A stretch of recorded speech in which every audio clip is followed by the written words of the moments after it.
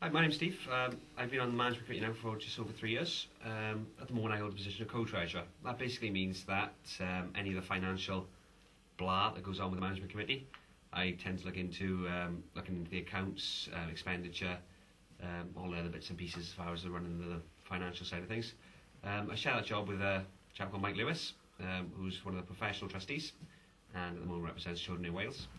And um, yeah, between us, we tend to try and get as much of that through as we can.